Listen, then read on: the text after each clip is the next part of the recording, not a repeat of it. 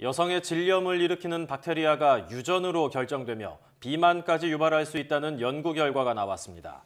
서울대 고광표 교수팀은 여성 생식기 내 미생물 집단이 유전의 영향을 받으며 이 가운데 프리보텔라 박테리아는 비만도 유발할 수 있다는 것을 최초로 확인했다고 밝혔습니다. 연구팀이 일란성, 이란성 여성 쌍둥이와 가족 542명을 조사한 결과 일란성 쌍둥이의 질내 미생물 집단이 가장 비슷했고 특히 프리보텔라는 락토바실러스와 함께 미생물 집단 가운데 유전적인 영향을 가장 많이 받았습니다. 또 프리보텔라는 인체 면역 유전자 가운데 하나인 IL5에 의해 유사 비율이 결정됐으며 고지방식을 먹인 쥐에게서 프리보텔라가 증가해 비만에 영향을 준다는 사실도 확인했습니다.